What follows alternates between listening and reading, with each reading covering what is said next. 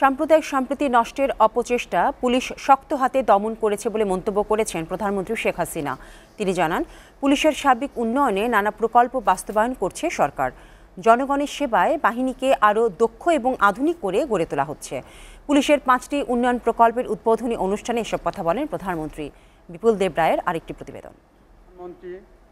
পদ্মা সেতুর উত্তর ও দক্ষিণ থানাসহ পুলিশের পাঁচটি উন্নয়ন প্রকল্পের উদ্বোধন উপলক্ষে এই অনুষ্ঠানের আয়োজন। গণভবন থেকে ভার্চুয়ালি যুক্ত হন প্রধানমন্ত্রী শেখ হাসিনা। পদ্মার দুই প্রান্তে স্থাপিত দুটি থানার কার্যক্রম। তিনি বলেন জীবনের ঝুঁকি নিয়ে জনগণের সেবায় কাজ করছে পুলিশ।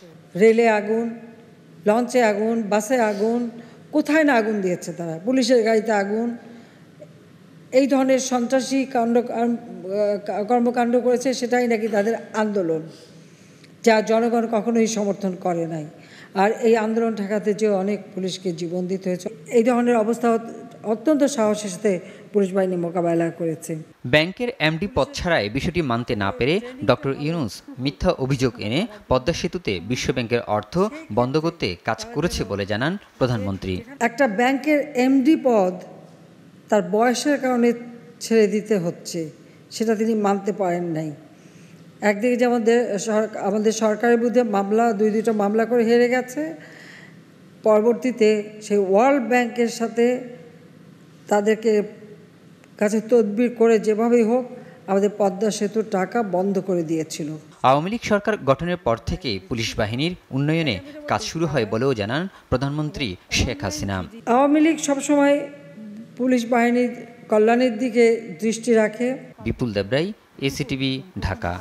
প্রিয় দর্শক জাতীয় এবং আন্তর্জাতিক সব ধরনের সংবাদ জানতে ভিজিট করুন এসএ টিভির ওয়েবসাইট www.satv.tv বিনোদনমূলক অনুষ্ঠান উপভোগ করতে সাবস্ক্রাইব করুন আমাদের ইউটিউব চ্যানেল slash satvbd যেখানে নিয়মিত কমেন্ট করে জানাতে পারেন আপনাদের মূল্যবান মতামত। এসএটিভির বাছাইকৃত সংবাদ দেখতে ভিজিট করুন youtube.com slash satv নিউজে প্রতি মুহূর্তের সর্বশেষ তথ্য পেতে লাইক দিয়ে সংযুক্ত থাকুন আমাদের ফেসবুক পেজে facebook.com slash satv news BD SA television সাথে আছি সব সময়।